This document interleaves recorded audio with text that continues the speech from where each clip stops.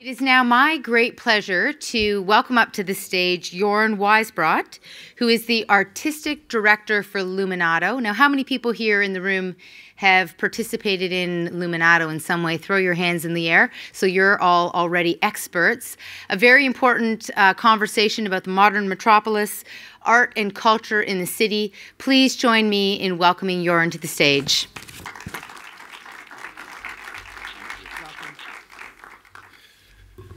Thank you, Jennifer. Um, I've been a nerd and I wrote out all my uh, manuscript, so um, here we go. A recent expedition into the caves of Chauvet revealed that artists emerged from the earliest human beings and communities about 35,000 years ago, and many years earlier than science so far have thought that the arts existed. Actually, research shows that larger human communities seem to have developed at the same time as these paintings in the caves of Chauvet in the south of France were made, suggesting that through the arts, communities were only able to form, as maybe the arts offer common spiritual platform and way of interpreting the world that make communi com communal living possible. During those days, we shared the world stage with other Homo sapiens, such as the Cro-Magnon and the Neanderthals. None of them seemed to show an interest in the arts. One might ask at this point the question, what is a work of art, or what was a work of art in, that, in those days? I would say that a work of art is a man-made object occupying time or space that has no inherent value to the immediate survival or physical well-being of the individual, such as weapons, pots, wheels would have. In terms of all other things that seem to differentiate us from animals, such as building fires, cooking our food, clothing ourselves, and using technologies, all the human species during the Pleistocene um, seem to have been all the same. None of them survived. None of them, except for us, painted or made music. Since Jane Goodall, we know today that animals also use tools, which was long believed to be the differentiator between us and animals, but chimpanzees use little sticks to trick animals out of holes and into their mouth. And yes, we have seen them paint, but we have not seen groups being formed appreciating these paintings, so it is unlikely that these acts of painting were anything but random acts. Animals have consciousness, though. They can even recognize themselves in a mirror. Kathy, the female main star in the 60s TV series of Flipper, could distinguish herself on the screen from her other female substars, Susie, Patty, and Squirt, and also the male dolphin, Scotty, who was brought in to do the standing on its tail dance that females just cannot perform. What would Pamela Anderson have said if she had been substituted by Amanda Lepore for certain stunts in Baywatch, I wonder? Kathy, by the way, committed suicide by stopping breathing. Dolphins breathe consciously, we don't. The idea embodied in the story of Narcissus who fell in love with his own reflection in a pool of water, that consciousness is a purely human achievement, is of course no longer valid. The cave paintings in Chauvet are said to have ritualistic meaning. Neurologists have suggested that movement creates consciousness, implying that all creatures that roam freely develop a consciousness. Thus, animals have consciousness. I would add that art forms ritual and ritual forms community. Most animals most likely feel pain in some form or another, even insects, which is necessary if you move through the world to survive. Pain, of course, is one of the primary sources for making art. Art is not, therefore, a result of human existence um, of the survival of our art is yeah not a result of the um, of human existence of the survival of our species it is right there at our birthplace it is what distinguishes us from the neanderthals or any other human species before us and made us distinct we became superior in, in, in interpreting the world, the cosmos, through art. We're able to give life a meaning and to form larger communities that make us stronger. The oldest musical instrument known to mankind is a flute made about 35,000 years ago out of bones of a vulture whose ancestors still roam our planet. Again, this is when our immediate human ancestors started to develop its distinctive evolutionary branch, and it is believed that the possession of these instruments gave them a strategic advantage over the Neanderthals. They could communicate via long distances without necessarily revealing their identity. The sound of the flute could mimic nature. Unfortunately, another story from Greek mythology implying that the nymph who fled in terror from a satyr, turning into a reed and lamenting in the wind, becoming the first instrument, the flute, is uh, crumbling. A video by the American Cubist artist duo Allora and Calzadilla was recently presented at Kassel Documenta uh, 13 that shows a vulture alongside a flutist playing the ancient 35,000 years old flute that was carved out of um, its ancestor's limb. Almost 40,000 years later, that humans started playing music, I was appointed to become Luminato's artistic director. After the festival had been born seven years earlier out of a wonderful act of civilian courage and vision by David Pecaut and Tony Gagliano. Luminato Festival is a 10 day international all arts festival that happens each year in June, June 14th through the 23rd this year, that wants to bring the best to Toronto and the best from Toronto to the world in all artistic and creative disciplines. We do not believe in the distinction between high and low culture, but only between good and bad art. It's a place where artists can meet, where artists from all over the Canada and the world come together to create new ideas and share these experiences with the audiences. A large part of our works are commissioned by Luminato. To me, the idea of a presenting only festival is outdated. It is the old World Expo idea where countries showcase their culture. Stefan Herheim, a young German director, set Madame Butterfly in a World Expo setting. It took place in the Japanese pavilion, and the audience was witnessing a play about a concubine and her American lover. When she, when she decided at the end not to kill herself, but to overcome her grief, a visitor of the expo took out a knife and stabbed her. He wanted and he could not live without the cliche that this opera produces itself, a brilliant interpretation of the piece, and our voyeuristic and cliched look at foreign cultures.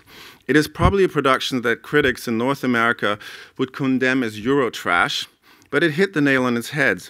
Festivals today have to be motors of culture. They have to create a culture of coherence, a culture of surprise and wonder, a new way to look at the world. Tony Gagliano and David Pecaut, the founders of Luminato, knew that the arts can restore communities and help build Toronto as a city that is ready to overcome the SARS crisis and start its way to become a city of global importance. To me, the artistic community and the communities that we have to speak to are global, but global starts right at our front door. As Documenta 13, and this is just one of the random captions of, uh, of, of, many of the exhibit um, of the pieces that were shown there, as Documenta 13 showed, by not including country of origins of the artist represented in its exhibition on the wall texts, artists do not have passports. They are global community builders and do not belong to one country. Nonetheless, they serve a local community and have to have roots in the local community from which they can grow to national and international importance. If you think about the work of some of the world's foremost artists, very often the individual or personal um, becomes universal. Cezanne painted fruit and a mountain that he could see from his house over and over again. Schubert's Winterreise is about one man walking through a scarcely populated lands landscape. Leonard Cohen describes the love of a night in Chelsea Hotel Number Two. Joni Mitchell could drink a case of you. Puccini's female herons all seem to follow a very similar pattern of sacrificing themselves for the love of the man, which often has a striking resemblances to Puccini's personal, quite tumultuous love life. An artist like Tracey Emin exhibiting her unmade bed, Douglas Gordon filming his thumb penetrating his other hand's fist, or Marina Abramović turning her body into the work of art itself, Janet Cardiff's The Murder of Crows, all follow this tradition of expressing the deepest personal and making it universal.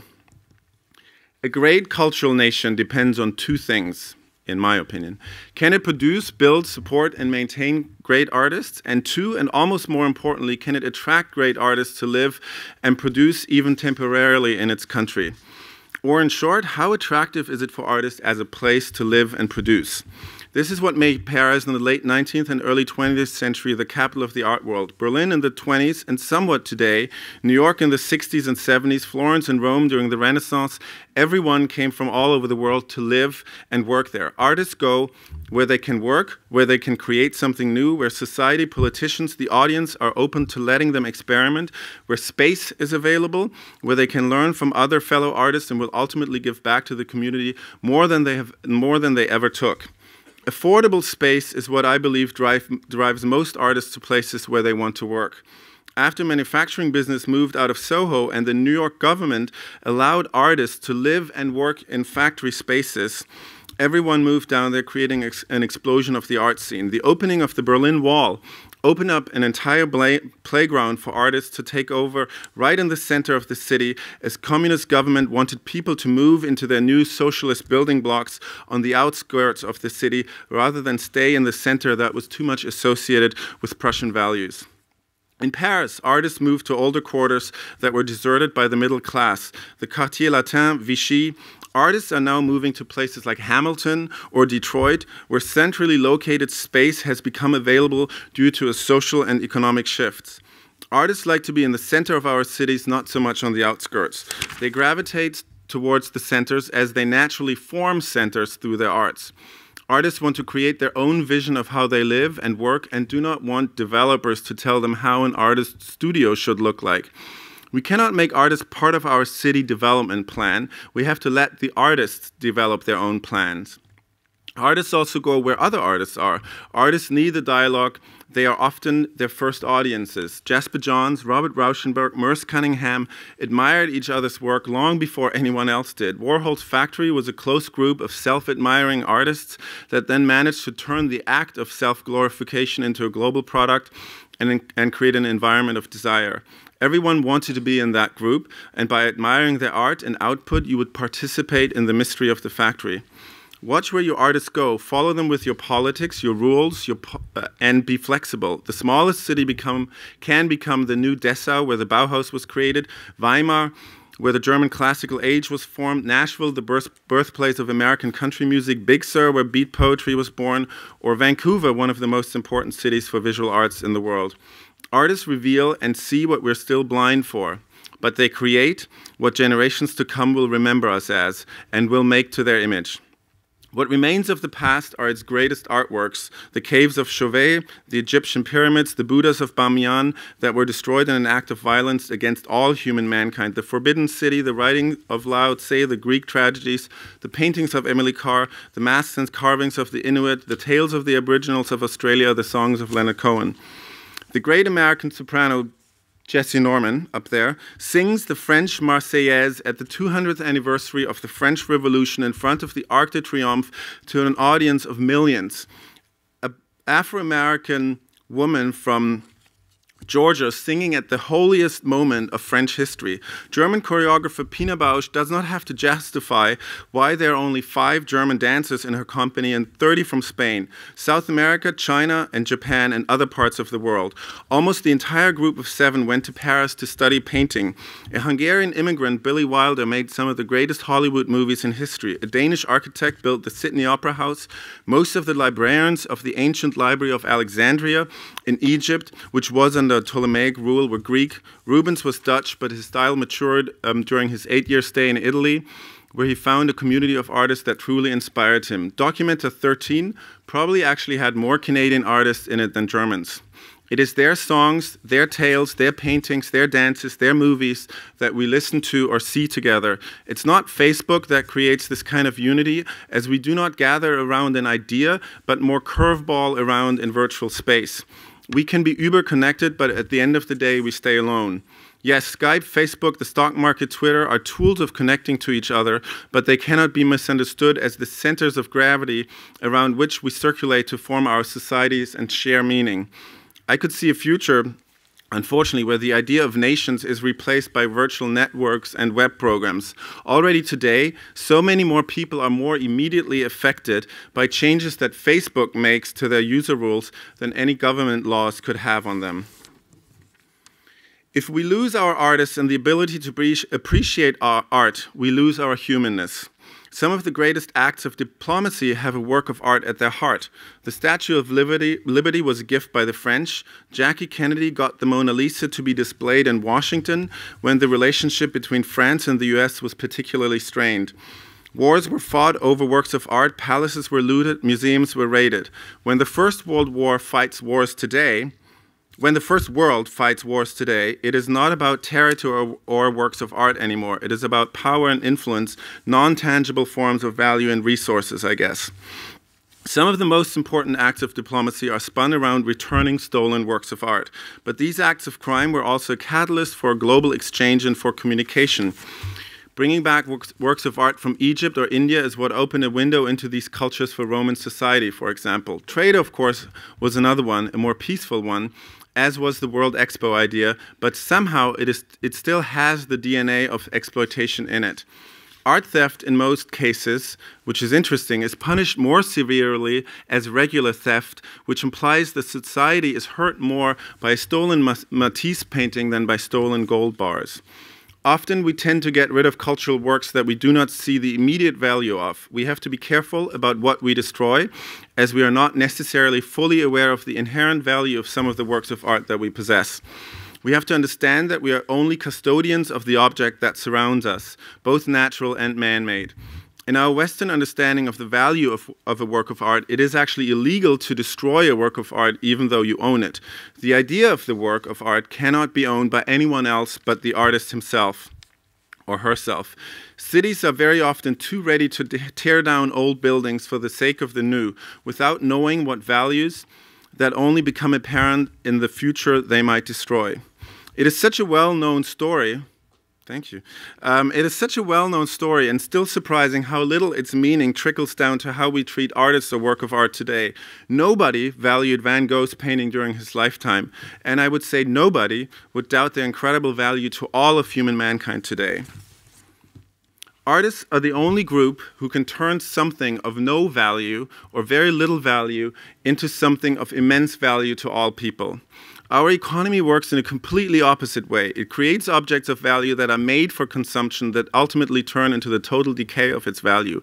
A washing machine is meant to break down. Therefore, while our economy enables us to survive on an individual basis, the works of art let us prosper as a commu community of shared values. How much we value our artists shows how strong a culture we are.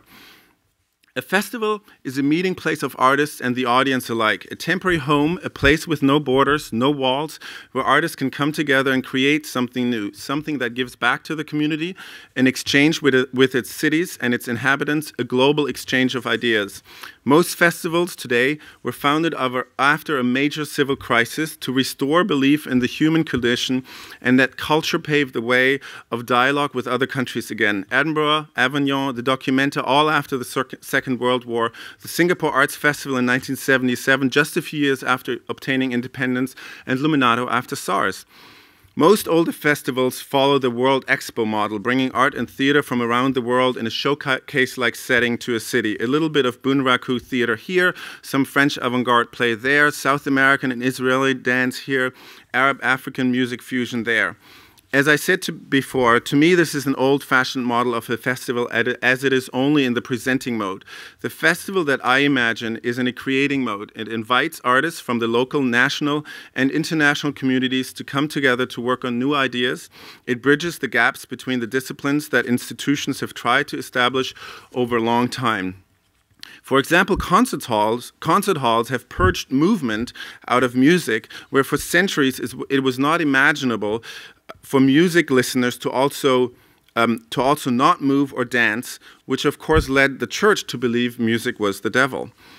This kind of festival is a temporary home for artists of all kinds and backgrounds. It creates a temporary center for them to work together, and it gives back to the community by energizing them, by interacting with them, by taking the city and its inhabitants into account, and not, not just by putting precious eggs into the rich nests of the institutions around the world, but by actually creating something out of the midst of these communities and involving the audience in the creative process and making them experience their city in a different kind of light, transforming the way we experience our city, uncovering potential of its spaces and inhabitants. A festival is like a fifth season that comes and goes and has its own flavors, its own scents, its own temperature that you have to experience while it lasts, as it is over faster than you think just like the cherry blossom season, the Indian summers, or the first fresh snow. It changes the way you see yourself and others and relationship um, and your relationship to your city. One of the most remarkable works of art that had a profound impact on the city where it was created was Christo's wrapping of the Reichstag in Berlin. Berlin was a city that has probably gone through the most radical historical changes, leaving many more wounds behind in any other, than in any other city in the world. it was not really, I was not really a big fan of Christo's work before, I have to say. I saw the pretty images of Pacific islands wrapped in pink fabric, although now, of course, that we know that a lot of these um, will most likely disappear, probably very poignant image, images. A river covered under big yellow fabric, and now this, a gray, somewhat sparkling fabric thrown like a wrinkly tablecloth over one of the most brooding and massive buildings in Berlin, associated with the darkest chapter, or better, an entire volume of German history, the Nazi era. And then it happened. The building disappeared, and the gray fabric was shimmering and dancing in the Prussian blue Berlin skies like a light cloud almost floating in the air, changing our relationship with this building, with our past, laying the groundwork for a transformed country, making Berlin possible as the capital of this new Germany that plays a constructive role in the building of Europe and the longest course of peace on that continent in its history. A new idea was ready to lift off. What had happened? Christo's fabric was like the magician's cloth behind which some magic happened, hidden to our eyes, but not to our imagination.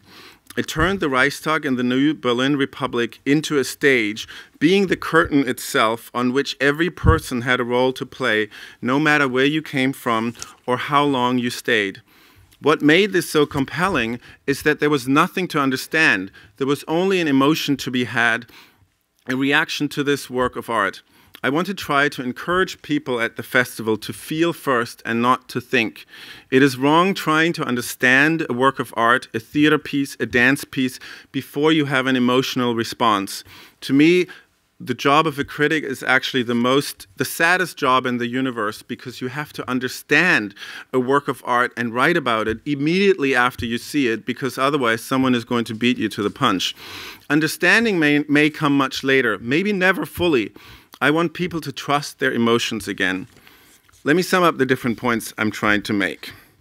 We cannot control the creation of art. We have to let the artist control that. We can prepare the space where it can happen by preserving space, not so much by building new space. We have to decontrol those spaces where it can happen. A great cultural nation depends on two things. Can it support and produce great artists? And can it also attract great artists from outside to live and work in its country. I guess the artist from the outside is the pig right now on this picture.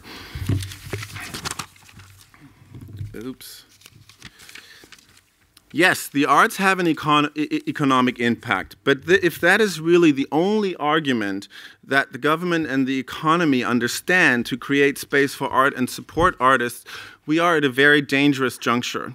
If we do not have any more stories to tell, if we do not have any more images or sculptures to contemplate, if we do not have any more plays to watch, music to listen to, we're not humans anymore. Art is the only product that can be consumed over and over again without being used up. Its consumption is intangible. It even gains more value the more it is consumed. It builds up more and more meaning with its level of, consumption. No other product does that.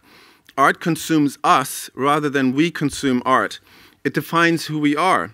If we move away from this to mere event and entertainment industry that crea creates cultural products with a use by date, we lose touch with our potential. Art is not a function of the human race. It is not an afterthought or a development of who we are. It is what gave birth to the possibility of our survival and the creation of larger communities and societies. It is what keeps us from falling into barbarianism. Only barbarians destroy art, or worse almost, do not create any. Christo's work of art created a new idea of a community, a peaceful, joyful dialogue that had not existed in Germany before. Just like the paintings of Chauvet gathered the earliest groups of humans and made them stronger as a group, gave them a sense of communi community and belonging together. To achieve these moments of meaningful community gathering is what my dream is of a festival. I believe there's really absolutely no difference culturally between what happened 40,000 years ago and what happened in Berlin early in the third millennium. The only difference is that at some point in history, money and permits entered the picture to regulate the exchange of goods to survive, and unfortunately also attached itself to works of art and determines artists' ability to create works of art, but we must not confuse the difference of the nature of works of art and products of consumption. Here's what Wikipedia says about the origin of money, which I thought is particularly interesting, but I won't pursue this thought further. The use of barter like methods may date back to at least 100,000 years ago, though there's no evidence of society or economy that relied primarily on barter. Instead, non monetary societies operated largely along the principles of gift economics and debt. I say, unfortunately, we have lost touch with the idea of gift econom economics, although the gift is a central idea to the arts. And Wikipedia continues when barter did, in fact, occur, it was usually between either complete strangers or potential enemies. So watch who you give your next $20 bill to. He or she is probably a complete stranger or an enemy. Thank you very much.